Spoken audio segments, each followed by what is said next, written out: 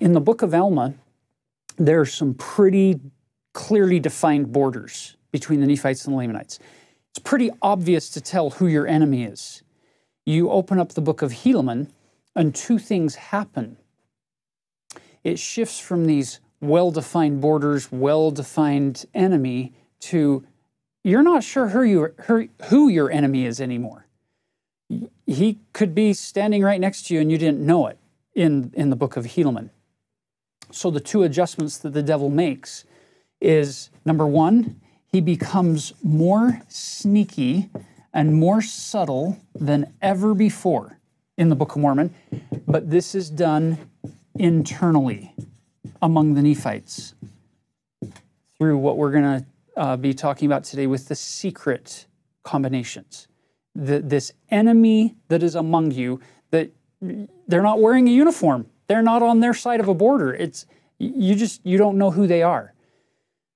More sneaky and subtle internally, and he becomes more bold and brazen externally. So the Lamanites come in here in chapter uh, 1.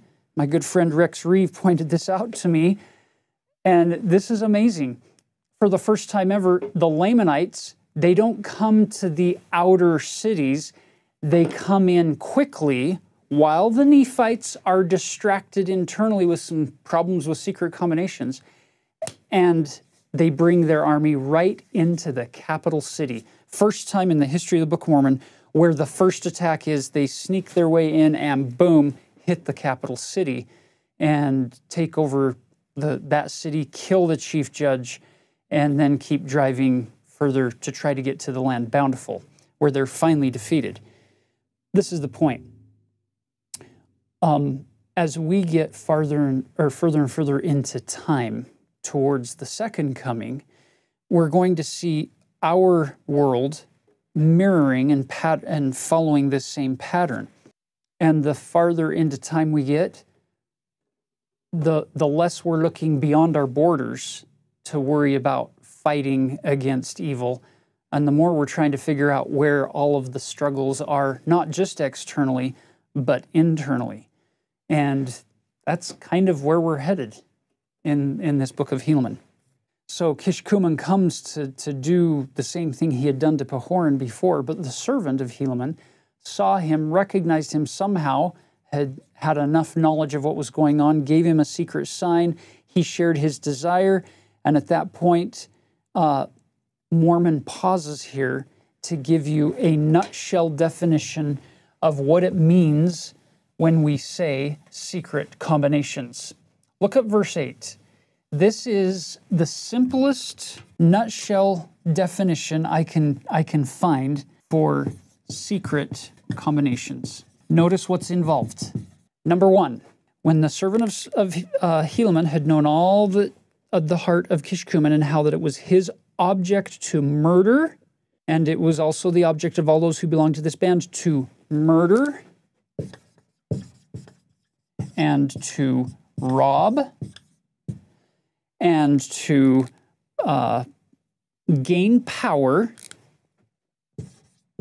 And this was all done in secret, not out in the open. So Taylor's talking about sacred covenants versus secret combinations. This is how Satan does his work in the dark, in the corners, under the cloak and the guise of, of uh, disguise, secretly going about to murder, to kill other people, to rob in order for him to get gain, to gain power and to gain things.